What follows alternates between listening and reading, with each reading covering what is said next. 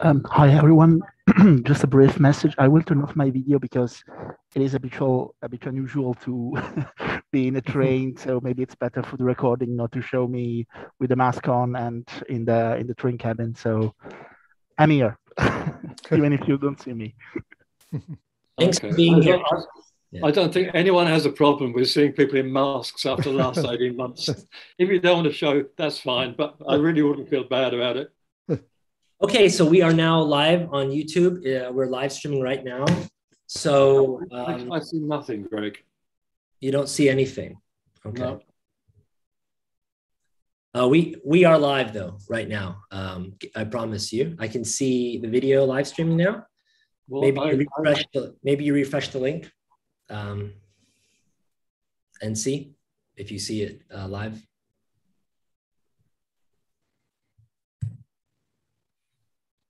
No, nothing. Well, I can keep track of the. Um, there are seven watching now. It started streaming less than one minute ago. I can keep track of um, any comments or questions coming in during the during the question and answer session, since I can see it myself. If you want to just go ahead and get started, and um, well, I certainly don't think we should hold things up much more. Yeah, uh, I'm just puzzled as to why. Hmm. I mean, the, the link you sent me uh, I open that and I just get a, a bunch of other links to click, uh, none of which was, is ours. Hmm.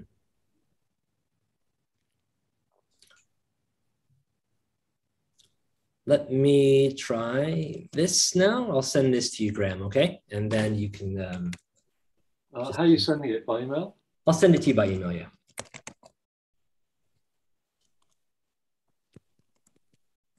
Let's see. Okay, it's sent to you. Go ahead and check it out. See if you can see it.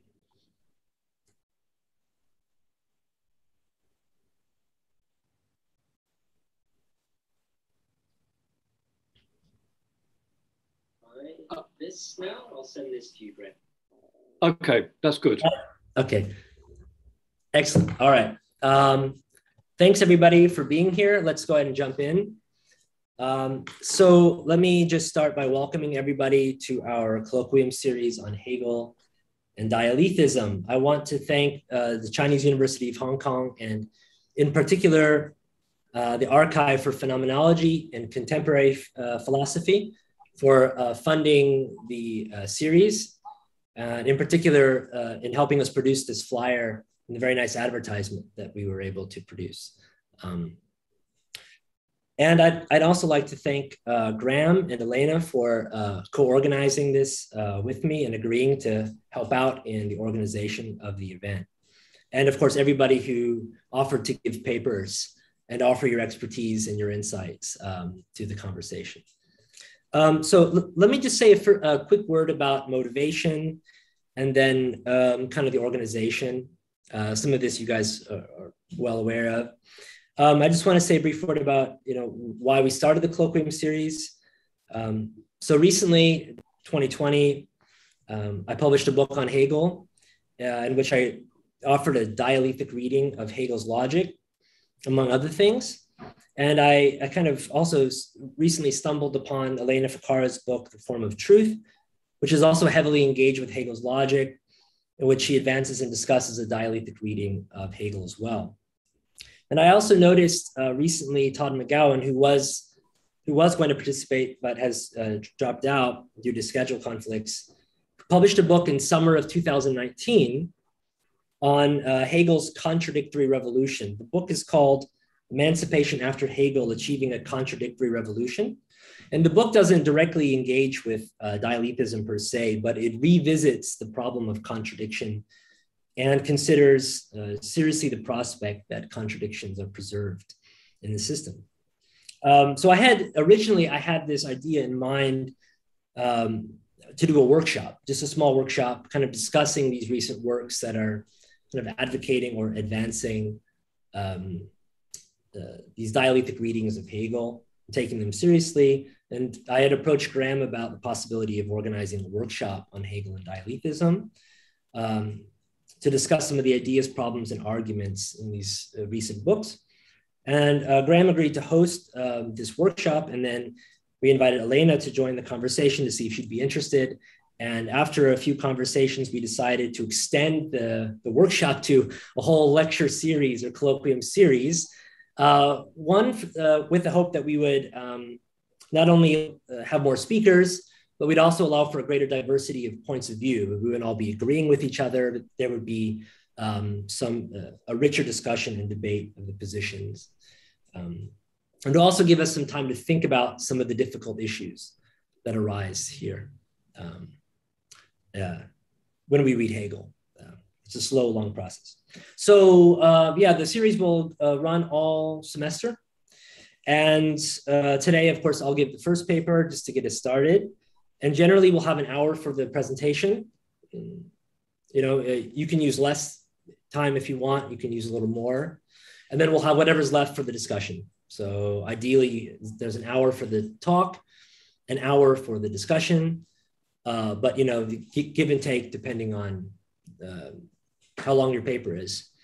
Um, at the end of the series, we'll have a little roundtable. We'll have a discussion together uh, about the topics that came up, any any interesting arguments, themes people want to discuss, come back to. Um, okay, so that's about the motivation, organization, where we're going. Um, so today's our first session. I thought it would be good if we would uh, introduce ourselves briefly.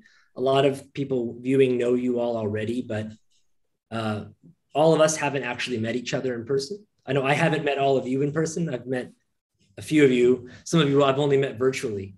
Uh, so some of you I haven't even met virtually. So I'd like to uh, maybe everyone could say their name, um, their position, affiliation. And then if you want to add anything about your interest in Hegel or dialethism, uh, you're welcome to, to offer that as well.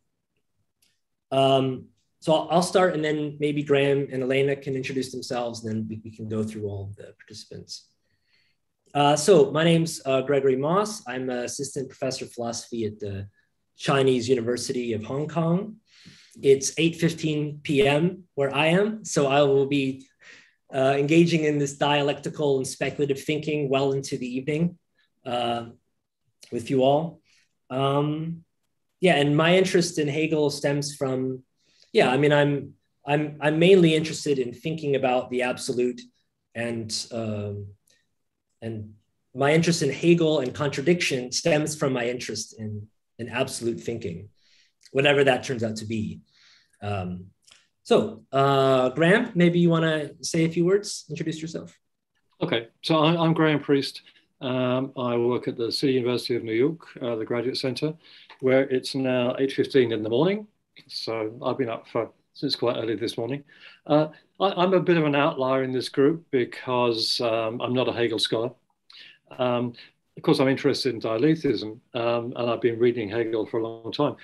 Well, many 40 or plus years ago when I was working on dialethism, someone said to me, Hey, this bloke Hegel, he sounds like a dialethist. Went, oh, really? So I started to read it because I couldn't understand a word of it. So I've been trying to make sense of it ever since. And, you know, I, am hoping that these sessions will shed some light on the situation. So that, that's it. Elena? Hi, my name is Elena Ficara. Um, I uh, teach at the University of Paderborn in Germany.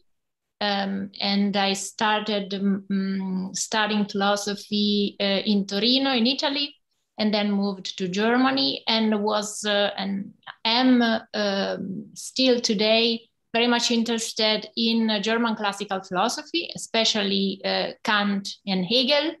And um, I started actually as a Heidegger scholar and uh, uh, my interest in uh, dialethism um, is very much motivated um, through my uh, interest in the current relevance of uh, the transcendental and the dialectical tradition.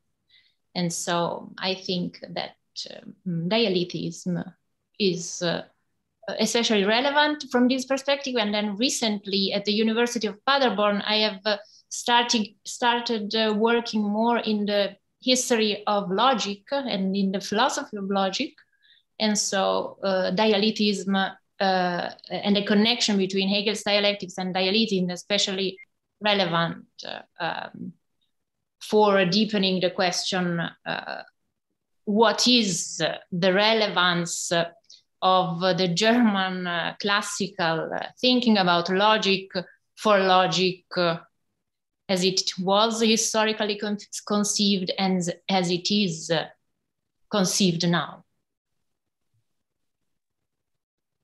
Thanks, Elena. Uh, Stefan, maybe you could introduce yourself. You're muted, Stefan. Sorry. Hi, my name is Stefan Schick. I'm currently a lecturer for philosophy at the University of Leipzig. Um, yeah, so I started working on Hegel and um, dialetheism in my PhD thesis, which was 10 years ago. Um, so, yes, it's nice to come back to an old topic. Um, so, thank you for inviting me to the workshop. Welcome. Uh, Anthony? Uh, hi, everyone. Uh, my name is Anthony Bruno. I teach philosophy at Royal Holloway, University of London. Um, I work mainly these days on post-Kantian logic. I'm writing a, finishing a book now on uh, Fichte's role in Hegel's logical revolution and then Schelling's criticism of the same. Um, and uh, I might be one of the lone dissenting voices in, uh, you know, what the connections are, if any, between dialectic and dialetheism. Um, but I'm looking forward to the discussion and happy to be here. Yeah, thanks, Anthony. Great to have you. Uh, Paul, can you introduce yourself. Um, I'm Paul Redding. Um, I'm um, now emeritus professor at um, University of Sydney in Australia. Um, I've been working on Hegel for far too long for any human being. Um, and I've got, over the last mm, couple of decades, I suppose, I got sucked into Hegel's logic, not from the direction of dialetheism, but first of all, um, engaging with uh, Bob Brandom's work um, and coming to sort of push against it in a certain sort of way. Um, and over the last number of years, my take on Hegel's logic has been trying to look at him in the history of um, a tradition called uh, analysis situs, which is a Leibniz, Leibniz sort of originated tradition which took off in the 19th century. Um, and I think there's all sorts of interesting connections between Hegel and contemporary mathematicians um, around the time um, uh, that developed in areas like um, um uh, what's it called uh, projective geometry and so on. Um, so I'm, I'm working on a sort of a long project at the moment on that. Uh, thanks a lot. Welcome. It's great to have you here. Uh, Michelle, you could say something, Michelle? Hi, everyone. Uh, I am Michela Bordignon. I work at the Universidade Federal do ABC, uh, which is also called uh, Unilula uh, because it was founded by uh, Luiz Inácio Lula da Silva.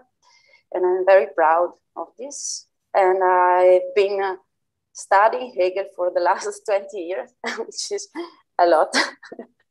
I think so. I was thinking about what Paul Redding was saying, but I think it's really, uh, uh, and, and I cannot stop doing that because I still have a lot of problem. I've been studying contradiction in Hegel, in Hegel dialectic for a long time. I have a book on Hegel dialetheism, which I never, never published.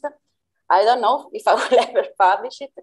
Of course, uh, I'm looking forward to discuss with all of you uh, to see more problems, uh, more uh, ideas. And uh, I'm really sure there will be an interesting series of seminars. And so thank you for uh, inviting me to join this group.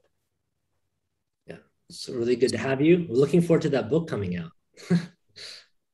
no, no, okay. Uh, Alessandro, Alex, you could say a word. I don't know if, or maybe you can't because you're in the train. Um, maybe not. Maybe we'll skip Alex and go on to Franca. Franca? Uh, oh, sorry. Can you hear me? Sorry. Okay. Yeah, Alex, we can hear you now. Oh, go ahead. Yeah, sorry. sorry, Greg.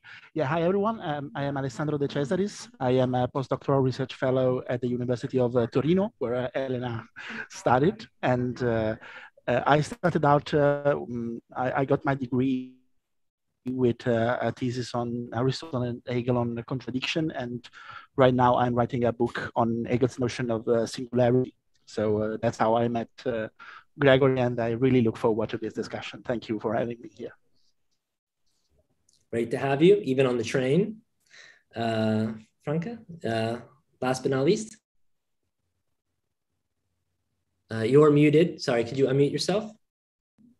Oh, sorry. Thanks. Okay. Uh, so I'm very happy to discuss with you, and uh, I'm uh, glad to see you uh, in person, not in person, but in, uh, in image. for instance, uh, Michela, hi Michela, Alessandro, um, Graham, Gregory, and um, Paul. And so uh, I'm very, very uh, pleased to discuss with you because uh, as possibly because I study, well, I, I currently teach philosophy at the University of Milan. I am, um, I've studied uh, particularly uh, their relationships between analytic and continental philosophy. And uh, a crucial concept of this relation is the concept of a contradiction. And uh, uh, I've been reading Hegel for many, many, many years uh, since uh, my high school, practically, which means very many uh, years. And um, uh, and uh, surely um, um, is uh, the aspect, is the current, is the uh, the theory in the analytical tradition, which is, uh, uh, in a sense, the best inherit, the best um, continuation, the best, which, in a sense, correspond to what Hegel wanted uh, from philosophy, and uh, and so mm, yes, I'm deeply interested in this connection Hegel and dialetheism, but uh, maybe I'm more interested in uh, the concept of truth, uh, paradoxes, uh, and contradiction. And so this will be my focus. I am. I want to to ask uh, um, Hegel scholars uh, and uh, dialetheists uh, what you can really say about this concept, this, uh, this uh, the concept of truth and the, the inevitability of contradictions, in a sense. Okay, that's all. I have already done my my talk. this is my talk. Bye. Welcome. Yeah, welcome. Nice okay. You. Yeah. And is that everybody? Everyone has introduced themselves, I think, who's here. And okay, uh, great. So it's almost 8.30. So today, I mean, I have a, I have a talk that I'm going to give on Hegel's absolute dialethism. That's the title. And uh, it runs about one hour. And so then um, if you ever, if you want to take a break, just go get yourself a juice from the fridge or something, or, or a beer, you might need it. Um, and then we'll have 30 minutes, uh, I guess, for questions and answers. Um, so yeah, uh, if it's okay, uh, Graham, should we go ahead yeah. and get started or? Yeah, look, uh, just so people know, I'm going to moderate the discussion, okay? Um, if you want to ask a question, I think the easiest thing to do is just to put your virtual hand up and it comes up on the participant board. So let me know if you want to ask a question uh, and I will uh, cue you in um, at an appropriate point. Greg, do you want to take questions as you go along, or do you want people to hold them to the end? Uh, I would like it if uh, I just completed the paper and then we have a the questions are raised. Okay. I'll take them right. one by one at that point. Okay. That's what I would prefer. Yeah. All right, fine. Then off you go. All right, thanks. Okay, so let me get started. All right. Hegel's absolute dialethism. Let me get my clock running so that I keep myself honest here. and Don't let myself go on too long. Okay. Dialethism is the view that some contradictions are true. Accordingly, in order to answer the question, is Hegel a dialethist? We need to establish that there are contradictions in Hegel's system, but not only this, but that they are true contradictions. In this paper, I will focus almost exclusively on whether there are true contradictions in Hegel's system of logic. So this paper is mostly a question of interpretation. First, Hegel's science of logic begins without presuppositions. Because the system begins without any presuppositions, Hegel certainly cannot endorse the principle of non-contradiction as a presupposition of the logic. As Houlgate notes, whether and in what way the principle of non-contradiction is true must be established in the course of the system of logic itself. Likewise, because the logic is without presupposition, we equally cannot presuppose that the principle of non-contradiction is false. Again, Houlgate is on point when he writes that, quote, if Hegel's logic does turn out to violate the law of non-contradiction, it will be because thought proves not to be completely governed by that law, close quote. So in short, if the principle of non-contradiction is false, the system of logic must establish its falsehood in the course of its development. Second, because contradiction is one of the categories of the logic, Hegel's logic contains contradictions. For this reason, there cannot be any serious dispute about whether there are contradictions in Hegel's system or whether they arise.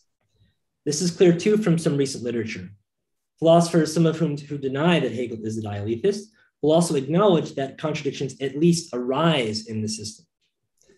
The dispute about dialethic readings of Hegel does not concern whether the principle of non-contradiction is a presupposition of logic, or I would say should not concern that, or whether contradictions are present in the system at all. Rather, the dispute should focus on whether those contradictions which do arise are in fact true or not, or true and false.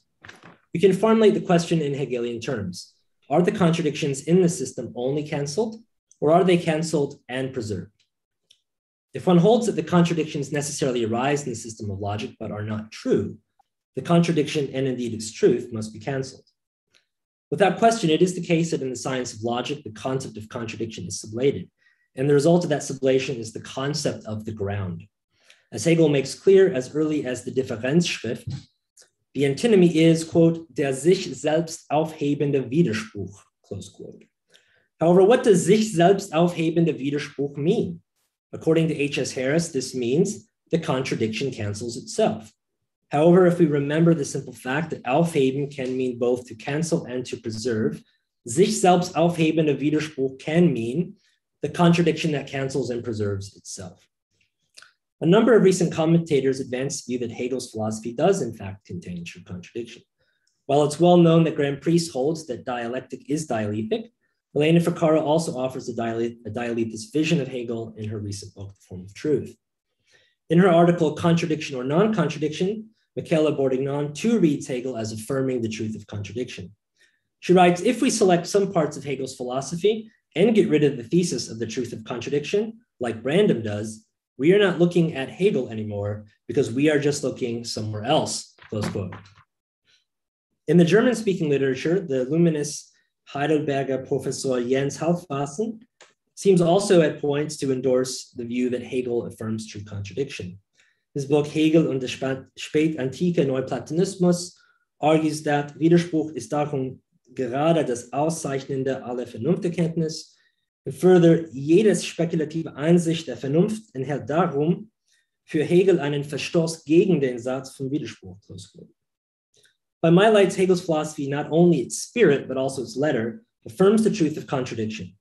And more specifically, the truth of contradiction is aufgehoben in the sense that it is not only canceled, but also preserved. In order to uh, move against the objection that a dialectic reading of Hegel imposes foreign ideas onto Hegel's text, I will employ concepts endemic to the text uh, itself and try to show that a dialectic reading is motivated uh, by the spirit and letter of Hegel's thought itself. Part two, the absolute atemporality of Hegel's logic. While logic is a presuppositionless science, the philosophy of nature must presuppose logic. While time simply does not appear as a category of the science of logic, it does appear as a category in the philosophy of nature. According to Hegel, quote, the truth of space is time and thus space becomes time, close quote. The category of space, however, is the first category of nature. For its part, the category of nature depends upon the completion of the science of logic. Thus, the category of time does not appear within logic itself. Rather, time is dependent upon logic. Logic only contains eternal truths.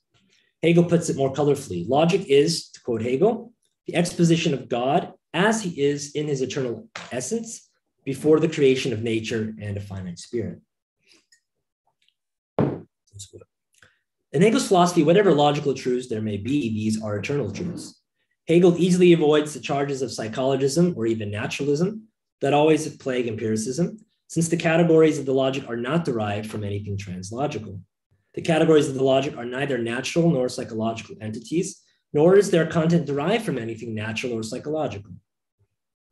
In the place of God, if that makes people uncomfortable, one can substitute the term absolute. Quote, being itself and the special subcategories of it which follow as well as those of logic in general, may be looked upon as definitions of the absolute, close quote. Why should we consider being and the categories of the logic in general to be absolute? Consider being, the category with which the science begins. The beginning is, but without further qualification. The predicate being does not draw any difference between anything. By saying X, but by, by saying of X that it is, or of Y that it is, one cannot differentiate X from Y. In virtue of beginning with being, the category that is completely devoid of determinate content, science of logic begins without presupposing any determinate content. Being is indeterminate. Merely relative predicates do not apply to everything. Instead, they apply to this or that being. A concept is absolute, at least on the condition that it is not relative, namely that it applies to everything. What is a relative determination maintains its independent reality by negating what it is not, thereby occupying a relative position vis-a-vis what is other to it. It is this in contrast to that. However, since being is completely indeterminate, it is not even distinct from or relative to what is other to it, not even distinct from determinacy. To put it otherwise, the indeterminate is without limit and all encompassing. Accordingly, indeterminacy is absolute. Being is an absolute beginning. It does not exist relative to anything else. Just as being is absolute, so are all of its successor concepts, such as the concept of nothing. In virtue of having no determinate content whatever, being is nothing, that which is empty of determination.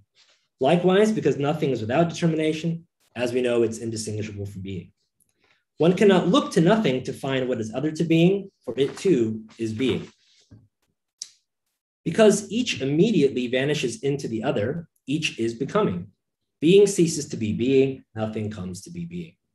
Each is immediately the other, each constitutes a unity of being and nothing.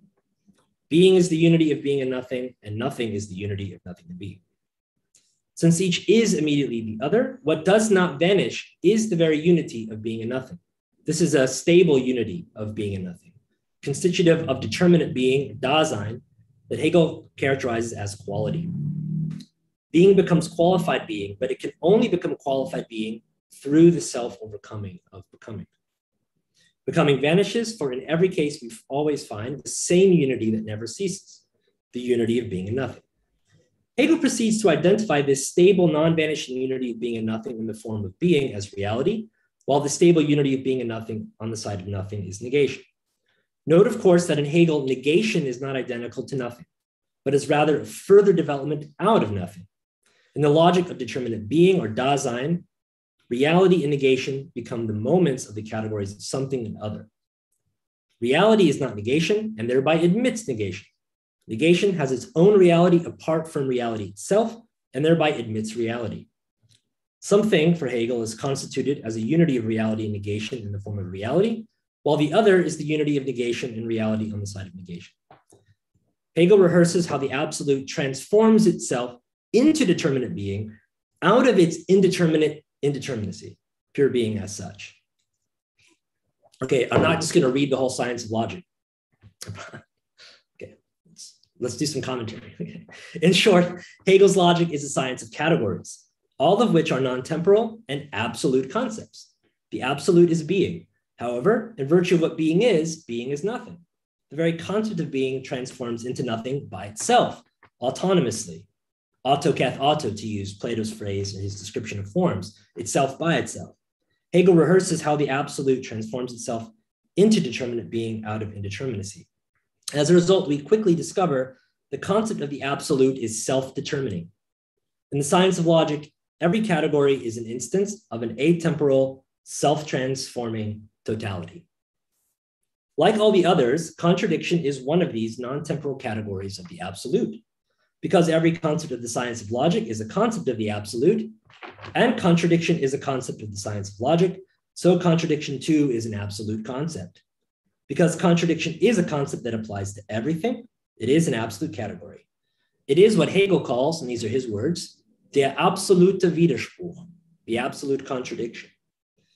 Given its absolute application, Hegel remarks that contradiction like identity, difference, and opposition can be formulated as an absolute principle. Quoting Hegel, all things are in themselves contradictory. If everything is contradictory, then the categories of the logic must be contradictory too, from being to the absolute idea. Hegel himself seems to declare as much. Quoting Hegel, on the contrary, every determination, anything concrete, every concept is essentially a unity of distinguished and distinguishable elements which, by virtue of the determinate essential difference, pass over into elements which are contradictory. If every concept is contradictory, then the sublation of contradiction in the science of logic should not just be cancellation, but it must also be preservation. The preservation of contradiction is also engendered by the atemporal character of logic. There are many contradictions that arise in the course of Hegel's logic, such as being is nothing, finitude is infinite. Are the contradictions being is nothing and finitude is infinite canceled? Yes, for they are not sufficient for the full articulation of the absolute idea. None of these then stands ultimately by itself. Each is preserved as an element of the absolute. However, are the contradictions not also preserved? Given that the science of logic is atemporal, the developments do not happen in time. Being becomes nothing and finitude becomes infinite, but it would be misguided to ask when being became nothing or when finitude will become infinite. Because it is the case, it is true at one place in the system that finitude is infinite and the logic itself is atemporal, it is always the case that finitude is infinitude. Simply put, because logic is atemporal, being is nothing and finitude is infinite are eternal truths. Given the atemporality of the logical system, the contradictions are preserved. In short, the contradictions are canceled, they're also preserved. That's another contradiction. They're aufgehoben. Because each contradiction is preserved, the absolute idea contains all the contradictions, so that, as Priest notes, the absolute would be quote, the biggest contradiction of them all. Because Hegel preserves the absolute contradiction, I hold that Hegel is an absolute dialetheist. This means one, the absolute is, two, it is a contradiction, and three, that it is a true contradiction. Because the absolute contradiction is an, is an eternal truth, Hegel's commitment to preserving the absolute contradiction in logic is nothing less than a commitment to the eternal truth of contradiction. Because philosophy thinks the categories, the categories are the intentional objects of the philosopher's logical knowing. Because the philosopher knows the categories in time, one might suppose that the logical categories themselves to be temporal. One might even attempt to refute the atemporality of logic by inserting time into the logical sequence of categories. First, this may not save logic from preserving contradiction, for time itself seems to be explicitly contradictory. For Hegel, time is, quote, that being which, inasmuch as it is, is not, and inasmuch as it is not, it is, close quote. But what is more, one must be careful not to equivocate on the logic as a system of categories and the logic as an object of philosophical knowing. Philosophers can know, philosophers can only know the logical categories because they are born and educated. While logic presupposes nothing, the activity of the philosopher supposes mind and nature and constitutes a final stage in the development of Hegel's system. It is true that being becomes nothing and that being is nothing. However, neither the development of this truth nor the truth itself depends on the philosopher articulating and stating that it is so. Being is nothing is the case and would be the case, even if no philosopher ever thought it. Hegel is clear that the truth of the categories and their development does not depend upon our thinking. Rather, our thinking acquires its direction from them. Quoting Hegel, still less shall we say of the concepts of things that we dominate them or that the thought determinations of which they are the complex are at our service. On the contrary, our thought must accord with them. Philosophical logic thinks what is always already there. It must simply, as Hegel says, watch what is going on. By taking the atemporal as its object, logic itself becomes a science, a science of logic. Subsequently, this science can be communicated via speech and writing to members of the philosophical community. The advent of the science of logic is a historical event, but the historical event should not be confused with the non-temporal development of logical categories as such.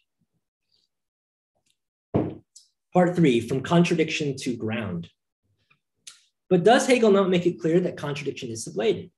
He does indeed. Being, however, is also sublated.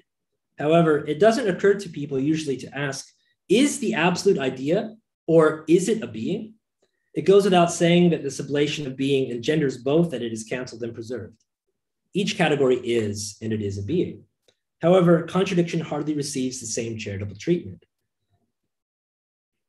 Why, in the case of contradiction, is it merely canceled and not also preserved, as in the case of being?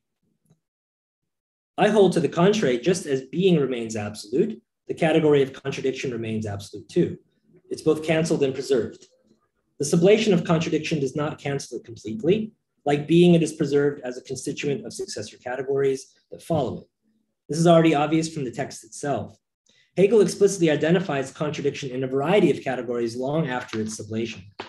Hegel proclaims that syllogism too, quote, must run into contradiction. We even discover contradiction in the absolute idea itself. Quoting Hegel, it is rather the other in itself, the other of another. Hence, it includes its own other within itself and is consequently the contradiction, the posited dialectic of itself.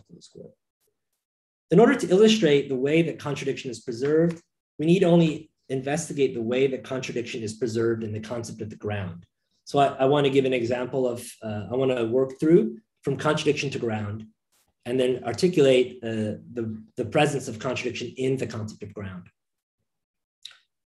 Hegel's formulation of the PNC is that A cannot be A and not A at the same time. And this is a proposition for Hegel that expresses the category of identity. Note that in Hegel's formulation of the principle, what cannot be A and not A is not an, some different subject S, but A itself cannot be A and not A. What is precluded is that A stand in contradiction with itself. Identity is an absolute category that has absolute application like all the others. Each category is self-identical and is not its negation. Each category then is consistent.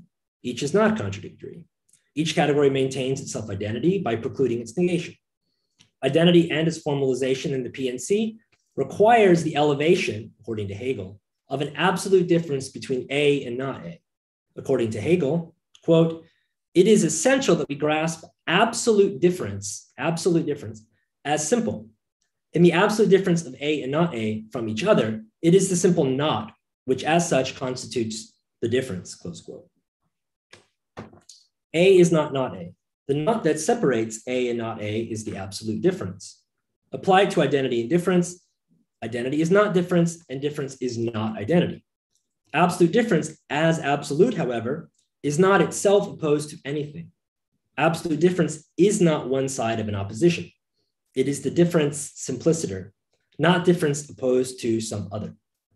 Absolute difference is not itself immediately opposed to identity, it is the difference between identity and difference. Accordingly, absolute difference is itself not different from anything. As absolute, it is not conditioned by another, not relative to another. To put it another way, absolute difference is the whole of the opposition. That is, it is an absolute difference. According to Hegel, quote, difference in itself is the difference that refers itself to itself. It is the negativity of itself the difference not from another, but of itself from itself. It is not itself, but its other. Since difference is absolute, it neither stands in any relation to another, nor is it opposed to anything other than itself. Hence, difference is not different from anything. For something to count as difference, however, and stand in a relation of difference, it must stand in a negative relation to something in virtue of which it is not that other. Absolute difference, however, does not stand in any relation of difference to anything, for it is absolute. Thus, absolute difference or difference as such is different from difference itself. Because difference is different from difference itself, it is that which is not identical to itself. Absolute difference, A, is not difference. not A. Thus, A is not A. As a result, the difference between A and not A, articulated in the PNC, leads to contradiction and thereby violates the PNC. As Hegel comments here, quote, difference is implicitly contradiction, close quote. Difference turns back on itself, sich and is self-negating. Difference is different from itself. Given that difference as such is not just different, but different from itself, Hegel says, quote, what is different from difference, however, is identity. And from this, it follows that difference is not just different from identity, but it is identity. Difference is identity. So to recount, what do we have? Difference is different from difference, and difference is identical to identity. However, what is more, because difference is different from itself, difference does stand in a relation of difference. Difference stands in a relation of difference with itself. Thus, difference is an instance of difference. Indeed, if difference is an absolute principle such that everything is different, then difference too must be different. Each term, A and not A, instantiates this difference, such that difference itself is the identical form of both. What is more, insofar as difference is different, difference is self identical, for the predicate difference corresponds with the subject. Thus, difference as difference for Hegel differentiates itself into two terms difference and identity. As a result, difference as such differentiates itself into these two terms and cannot be distinguished from the elements identity and difference, which are opposed to each other. Hegel writes that difference is the whole and its moment. Okay, so now we're on to contradiction here. Since absolute difference gives rise to both identity and difference as relative differences, and each admits the other, identity contains difference, and difference contains identity. One is the positive, identity and difference in the form of identity, and the latter is negative, identity and difference in the form of difference. The negative is the specific other of the positive, the positive, the specific other of the negative. Each is its other. The positive is the unity of identity and difference in the form of identity, while the negative is the unity of identity and difference in the form of difference. Since in the formulation of each, identity and difference are united, each is reducible to the formulation of the other. The positive is negative and the negative is positive. Accordingly, the positive is negative in virtue of itself, and the negative is positive in virtue of itself. What is the character of this contradiction? Like all the logical determinations, the unity of the positive and negative is absolute. It contains all the determinations. As Hegel writes about a contradiction, each moment is thus the whole self-contained opposition. Because the unity of the positive and negative is absolute, nothing is outside their totality. Accordingly, each stands by itself and depends only upon itself. Each, the positive and the negative, is self subsistent. However, since both the positive and the negative are absolute, and yet each is distinct, each, according to Hegel, excludes the other in the same respect as it contains it, and so it is contradiction. In terms of enclosure, the positive is the absolute. It contains all the determinations. It achieves closure. However, the negative is and is outside the positive. Thus, the negative stands outside the absolute, the element of transcendence. Thus, the absolute is not absolute. Likewise, the negative is the totality of all the determinations, and yet the positive stands outside the negative. Thus, in the case of negative 2, the same result is achieved. The absolute is not absolute. In the case of the positive and the negative, A is not A. Each absolute stands in contradiction with itself. Note, it would be enough if only one determination exceeded the absolute. However, the contradiction here is more than this. As we've already indicated, it is an absolute contradiction. Because each, the positive and the negative, is self subsistent in the self subsistent absolute, and each is distinct from the other, it is the absolute that transcends itself. The absolute as a whole that is not itself. As Hegel states, quoting, in its self subsistence, the determination excludes its own self subsistence from itself. For this reason, contradiction is the absolute contradiction of the negative and the positive. Quoting Hegel, this is the absolute contradiction of the positive, but it is immediately the absolute contradiction of the negative. The contradiction, to use Hegel's formulation, excludes itself from itself. sich selbst von sich selbst auszuschließen. Although being is nothing is a contradiction, we're only justified in identifying it as a contradiction or as a violation of the PNC after the PNC is established within logic itself, namely in the category of identity. Having arrived at the concept of contradiction, we can retrospectively recognize the violation of the PNC at the outset of the logic. Contradiction develops, however, into the category of the ground. It's not the end of the story. Contradiction is sublated. The opposition constituting contradiction, Hegel says, geht zugrunde. It has gone back to its foundation, to its ground. The opposition geht zur Grunde.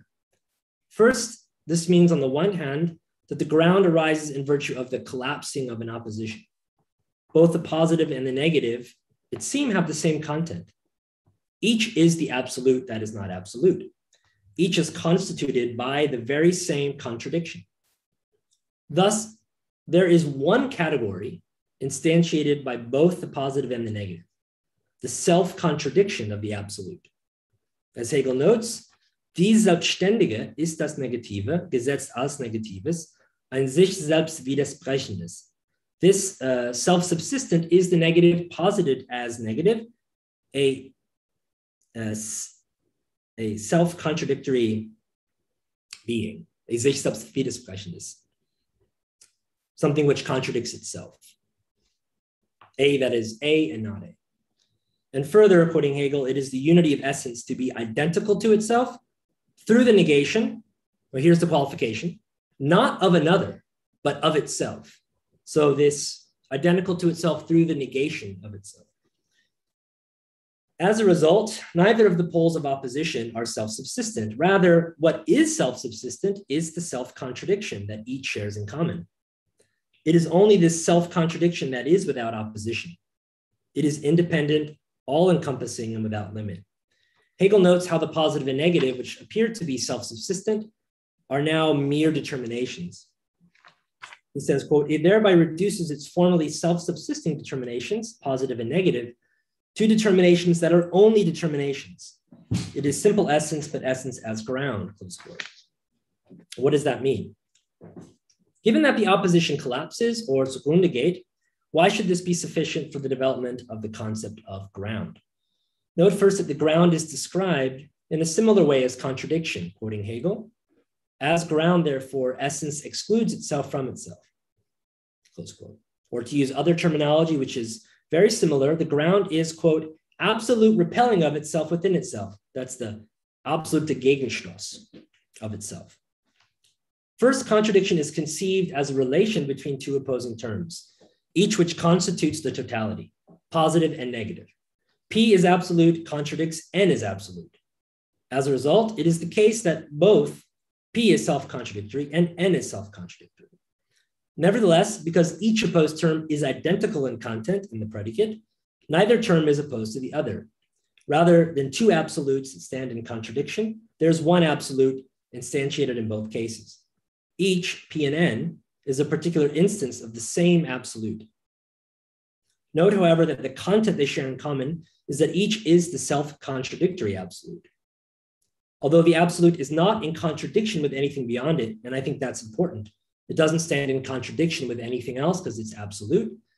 It is in contradiction with itself. That's the sich selbst uh, widersprechend. It is a contradiction that is not relative to another, but only to itself. Self contradiction is a unity instantiated in both terms. Each term is an instance of the same self contradiction. The A that is not A. Hegel writes that in order to arrive at the concept of the ground, one must only, he says, add self unity to the self contradictory opposition.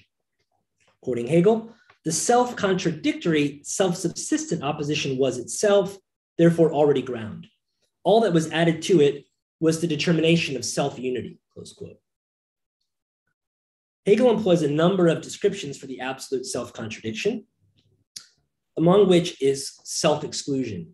He also talks about being things being outside themselves, self-alienation, self-externality. Because the absolute excludes itself, it is both not what it is, and it is something other than itself. The absolute P negates itself as P and posits itself as N. As n, the absolute negates itself as n, posits itself as p. These determinations, p and n, to use Hegel's words, are selbstwidersprechenden Bestimmungen, self-contradictory determinations. One can equally conceive of the relation of ground to grounded in a circular as well as a linear fashion. The self-contradictory of P and N are perpetual. Although P negates itself and posits itself as N and N as P, one can count each new instance of the self-contradiction as a novel instance of self-contradiction without end. A is not A, it's other than A, it's B. B is not B, it's other than itself, it's C. And this uh, ad infinitum. A is a relative ground of B, B of C, and yet there is uh, an absolute ground of each, namely the self contradiction that is perpetuating itself throughout the whole process. In each case of self contradiction, there is something that remains the same. There's self unity, and that is the self contradiction itself. That's the self unity. In virtue of negating itself, the absolute posits beings, P and N, beings that can only exist in virtue of the perpetual self negation of that absolute. As a result, the concept of ground seems to involve the following. In virtue of the unified activity of self contradiction, particular beings are posited. The perpetual self contradiction of the absolute is the ground of what there is. Insofar as each being is grounded in the self contradiction of the absolute, each being is that which is grounded. Thus, out of contradiction, the category of the ground and the relation of ground to grounded arises. When ground is expressed as a principle, it has the form of the principle of sufficient reason. As Hegel formulates it, everything has a sufficient ground or reason, and Hegel thinks actually sufficient is redundant, actually.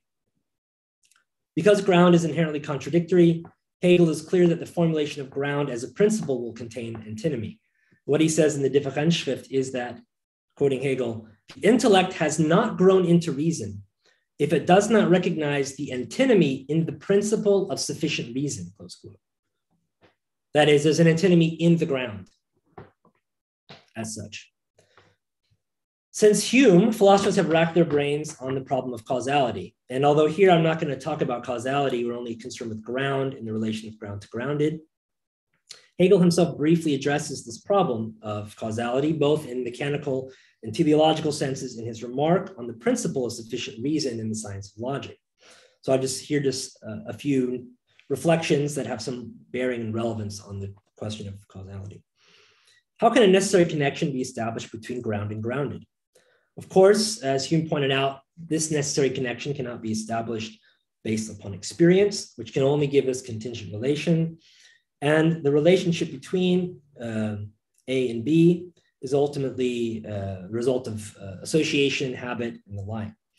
As is obvious, Hegel's logic is a priori. He refuses to draw the connection between ground and grounded by appeal to experience. However, Hegel's answer to the problem does uh, more than simply render the connection a priori. The suggestion here is that A is necessarily connected to what is different from it, B, in virtue of self contradiction. A is necessarily connected to what is distinct from it, B, only by overstepping its own limitation, only by negating itself. And Hegel will, this is, I think, clear from the fact that Hegel collapses the synthetic analytic distinction. He's clear about that in the absolute idea that the category is no less synthetic than analytic. A is synthetically connected to B in virtue of what is analytically contained within it, its power of self contradiction. And this, of course, is, uh, fits well with Hegel's view that contradiction is the moving principle of the world and that contradiction is the root of movement and life. Putting that problem aside, however, with these reflections in hand on self contradiction qua ground, we can better understand how the self transformation of the absolute autonomously transforms itself from one logical category to another. Since self contradiction is absolute, it applies to everything. Every category is an instance of self contradiction. Because self contradiction is also the ground of everything, Self contradiction is also the ground of every category. In virtue of its perpetual self contradiction, the absolute posits itself as every category of the logic being, essence, concept, truth, and absolute idea. The ground grounds the whole series of categories. Being A becomes nothing B in virtue of the self contradiction of being, Finitude becomes infinitude in virtue of the self contradiction of finitude. However, we must note that in the science of logic, the principle of explosion has no foothold. It's neither a presupposition, as there are none, and every particular development of the logic leads to a specific category, such that particular categories follow from particular contradictions. To know that categories are self contradictory is a formal truth. It does not specify what the self contradictory categories are. To know what these categories are, one must uncover how each specific category contradicts itself and gives rise to its successor concept. And yet, if self contradiction is the ground of the categories, does that not contradict the groundlessness of logic? Yes, it does. With the arrival of the ground, even the groundlessness of logic is overcome. Indeed, the logic can only acquire a principle for its very development by contradicting itself. And this is the idea that logic is uh, receding into its ground, and ultimately that means it's receding into the absolute idea, which is the method that grounds everything, the ground that comes at the end, the ground that is ultimately um, itself grounded. In the science of logic, Hegel continues to hold, to simplify the discourse here, that the category of contradiction is still present in the concept of the ground. In fact, the concept of the ground could not be articulated without the concept of contradiction. And Hegel just says that. Quoting Hegel, in ground, therefore, opposition and its contradiction are just as much removed as preserved. Der Gegensatz und sein Widerspruch ist daher im Grunde so sehr aufgehoben als erhalten. And what is more, this self-subsistence is the negative, he says, positive as negative, something self-contradictory which consequently remains in the essence as in its ground.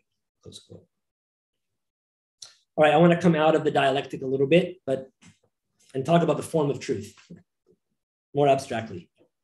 The view that Hegel endorses true contradiction seems to violate Hegel's understanding of truth. Hegel writes that truth is self correspondence or the agreement of the thought content with itself. Falsehood would be therefore the failure of self-correspondence. A is not A, however, is not the self-correspondence of the category with itself. To the contrary, the contradiction here, and the self-contradiction, is explicitly the absence of self-correspondence. Thus, one may infer that contradictions cannot be true because they do not correspond with the form of truth. Sorry, we just lost um, Alex. Let me let him in. Okay. Sorry. Okay. So I want to talk about this objection. We have the form of truth, and it looks like contradictions just fail to live up to that. And that's an important objection to consider. Uh, before we address the critique directly or with, within dialectical thought, we first need to acknowledge that Hegel's discussion of truth per se is not so univocal. That's not surprising. For instance, in the Differenzschrift, Hegel states that, quote, once antinomy is acknowledged as the explicit formula of truth, reason has brought the formal essence of reflection under its control, close quote. And, quote, antinomy, that is, the contradiction that cancels itself, I would add, and preserves itself, is the highest formal expression of knowledge and truth, close quote. Here, contradiction is presented as the very form of truth itself, indeed, its formula. This recognition of the contradictory form of truth is carried over into the science of logic too. In the science of logic, truth is the idea. Here, the correspondence of the concept with its object. The self particularizing universal and the object that is the self subsistent totality. Whatever we say about truth here needs to be preliminary, since what truth is requires more than categories such as consistency or inconsistency. We have to talk about concept, object, all this. The idea qua truth is the absolute truth, what it is to be true. no category, it seems, is true unless it instantiates truth, the idea. The idea or truth itself in Hegel is first determined as life. So he says, quote, the immediate shape of the living being is the idea in its simple concept, the objectivity conforming to the concept, close quote. The term der absolute Widerspruch, the absolute contradiction, reappears beyond the doctrine of essence as a description of the category of life, the first form of truth or the idea. Hegel calls the self determination of life the absolute contradiction. In life, the self determination of the concept corresponds with the teleological character of the organism, wherein the purpose of the organism is the very means by which the purpose is realized. So the organism has this self determining character that's built into its internal teleological structure. Indeed, if all contradictions are eventually canceled, would this not put an end to the concept of life itself? If all contradictions are canceled, so is life, and the categories die. With the end of contradiction, so ends Hegel's campaign to reanimate the life of thought and to reanimate dead bones of logic. In short, uh, it's my view that Hegel never abandoned his early view that contradiction is the rule of truth. But if the form of truth is contradiction, if a category is not uh, contradictory, then it is not true. If all of Hegel's logical categories were merely consistent, none of them would be true, for they would fail to live up to the form of truth. So if we have all these passages before us, we find ourselves in a nuanced and arguably difficult position. The form of truth is, uh, contradiction is the form of truth, and truth is the correspondence of the concept with itself. As a result, we know that one, a category is true only if it corresponds with itself. But we also know that contradiction is the form of truth. Conceived together, these conditions seem to engender a dialetheic concept of truth. If a category is true on the first criteria, then the category corresponds with itself. Because self contradiction is a lack of self correspondence, according to one or self correspondence, no contradiction can ultimately be true. According to one, two must be false. It must be false that contradiction is the form of truth. Rather, contradiction should be the form of falsehood, not the form of truth. However, according to two, contradiction is the form of truth. Truth has the form of contradiction. And since contradiction is a lack of self correspondence, self correspondence must be false. Thus, if it is two, if it is true that contradiction is the form of truth, then one is false. Namely, it's false that truth is self correspondence. However, since both one and two are true, we know that whatever is true is also false, and whatever is false is also true.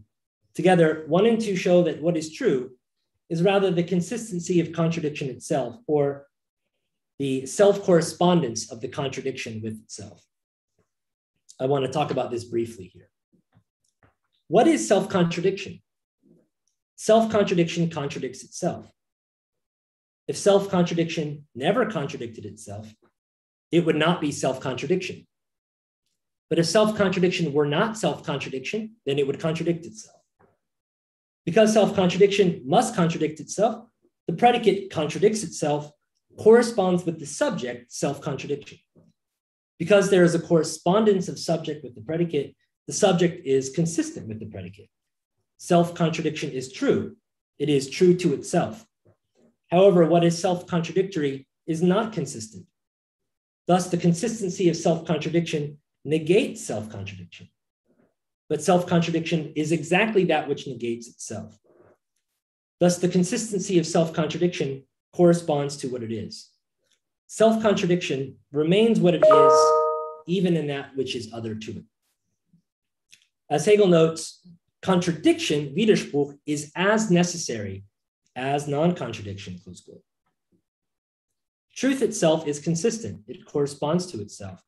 However, what corresponds to itself is the contradiction, which is the form of truth. Truth itself demands the unity of consistency and inconsistency. It certainly is the contradiction of consistency, but it is not only that, it is the consistency of contradiction. In Hegel's logic, consistency and self identity are therefore not simply banished from the logic, they're not just discarded or overcome. Rather, they are canceled but preserved in the consistency of self contradiction. As Hegel notes, only, quoting Hegel, only once antinomy is acknowledged as the explicit form of truth. Reason has brought the formal essence of reflection under its control. Does the self correspondence of self contradiction engender a complete absence of all contradiction? Decidedly not. In fact, because self contradiction is consistent with itself, it is self contradictory, it is consistently that which is self contradictory. Because self contradiction is self contradictory, it corresponds with what it is. the predicate corresponds with the subject. Since self correspondence is the meaning of truth, the self contradiction of self contradiction is the truth of contradiction. I think this subtlety uh, is, is easy uh, to miss when we think that the self correspondence of speculative thought means that there are no true contradictions. The speculative result of a dialectical process is not the total elimination of contradiction. Uh, by my lights, speculative thinking stresses that the concept remains true to itself in its very self contradiction. I briefly want to say something about this self predicative character of uh, contradiction that I've been speaking to. Um, the truth of contradiction hinges upon self predication, whereby the concept is predicated of itself. Self contradiction is self contradictory, predicates the subject of itself. Because Hegel is adamant that absolute categories are self predicative, this structure is not only unique to contradiction, but can be uncovered in the very concept of conceptuality itself. The concept, der Begriff, is the concept, we'll call it C, in virtue of which every concept is a concept. The predicate of the judgment informs us about what the subject of the judgment is. The question, what is X, calls for an answer of the following type X is such and such. Where such and such is the predicate that specifies what X is. The question, what is the concept, calls for an answer of the same type. The concept is such and such. Such and such is a concept that articulates what the subject is. Accordingly, the question, what is the concept, can only be answered by predicating conceptual of the concept itself, by predicating conceptual of C. Thus, whatever uh, answer to the question is proffered, it should have the following form. C is conceptual. C, the subject of the judgment, and C is conceptual, is the concept in virtue of which every concept belongs in the domain of concepts. Because C is just the universal concept, or what it is to be a concept, the predicate of C, that it is conceptual, is nothing less than the predicate C of itself. C is conceptual, according to Hegel, is a self predicative judgment. Because C is the measure by which every concept is a concept, no concept can belong to the domain of concepts without having the predicate is a concept. If every concept is conceptual, the predicate of the judgment C, which is also a concept, must be conceptual too. According to Hegel, the self predicative structure of concepts entails existential implication. This means that the concept is, quoting Hegel, this activity of dividing, of particularizing, and determining itself. So the concept is a self uh, particularizing concept. Self particularizing. That's what I mean by existential implication. By predicating a concept of C and C is conceptual, C is placed in the subject position, is conceived as a member of the domain of concepts. Because C is conceptual, C is an instance of C, a particular that instantiates C. In terms of ground, the concept is a sufficient ground for its own particularization. Although the concept is not reducible to the ground as self particularizing, it is the sufficient ground of its own particularization. The self predicative character of the concept is a further enrichment and development of the structure of self transformation and self contradiction elucidated earlier. The self contradiction of self contradiction instantiates the self predicated structure of the concept and its self particularizing power. The concept of self contradiction particularizes itself, and in virtue of that self particularization, generates a series of categories. Although Hegel will claim that the ground is self determining, one can only justify the claim that the ground is self particularizing only after the development of the concept. Because again, contradiction is supposed to be an absolute category, applies to all the categories. It's preserved in the concept too. The concept particularizes itself. So the concept for Hegel is not just universal, but it is also particular. As a particular, it is one instance of the concept alongside other particulars. So the concept is one particular concept alongside being, ground, contradiction, all the others. Because particular concepts exclude each other, they're not all inclusive. Qua particular, C excludes being and every other concept. Thus, as particulars, the concept is relative to others and is not absolute. However, the concept is absolute. Every category of the logic is a definition of the absolute. Thus, qua particular, the concept is both absolute and not absolute. In Hegel's language, the concept must be he says outside itself, which is an explicitly contradictory concept. He says, in this universality, the concept is outside itself. And because it is the concept, which is there outside itself, the abstract universal contains all the moments of the concept. I'll just say a couple words about this. Since the concept is self predicating and self particularizing, and qua particular, C is not what it is or is outside itself, as particular, the concept is not self predicating or existentially implicative. Because the concept is outside itself as particular, Hegel says the concept must be non conceptual. So, this non conceptual dimension of the concept is the way that contradiction reappears in the logic of the concept. Since non conceptual does not correspond with conceptual, as particular, the concept is not true to itself. It does not correspond to what it is. The abstract universal is one example of the concept that is not conceptual. There are other examples too for Hegel. It is a universal that does not particularize itself. This principle of identity and non contradiction, as understood as an abstraction, does not specify the particulars that instantiate A. The abstract universal is different in kind from the self particularizing universal. One is self particularizing, the other is not. Hegel writes that the abstract universal is, quote, indeed the concept, but the unconceptualized concept, the concept not posited as such, close quote. However, again, here's the qualification always and again. The unconceptualized concept, sorry, that which is other to the self-particularizing universal is one of its particularizations. Hegel builds the abstract universal into the very logic of the concept. And so the very counterexample to Hegel's dialectic system is built into the system itself. The counterexample is not only neutralized as an objection, but is transformed into the very soul of the concept by which the whole development proceeds. Without preserving the counterexample into the system, Hegel would lose the most powerful weapon by which the enemy of the dialectic is transformed into an advocate of the system. Right, so Hegel builds the counterexample into the very system itself, so that when you appeal to the counterexample, you end up simply advocating what he's saying. That's essential to, I would say, this my own dialectic reading here. All right, so to finish up, I'm almost done, I promise. Uh, contradiction, speculation, and the absolute. The absolute is all encompassing. It doesn't stand in contrast with anything. Because it stands alone, it cannot stand in contradiction with anything. One might raise the objection that speculative thought, which thinks the absolute, could not stand in contradiction. And that makes sense. There's nothing for it to stand in contradiction with.